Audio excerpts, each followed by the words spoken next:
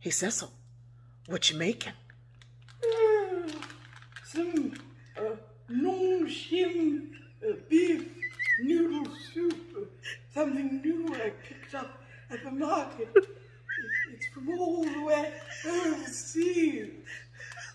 Where, where overseas? Uh, from the Orient. man.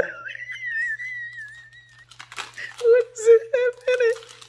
Uh, well, I can't quite tell. It's all in, in Japanese.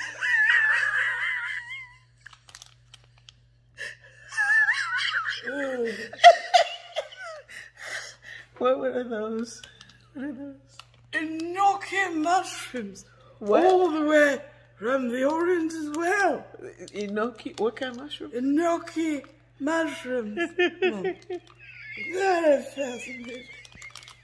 Cecil, where'd you learn how to cook Japanese food? Well, well, I haven't yet, Mom. But I've discovered this wonderful thing called the YouTube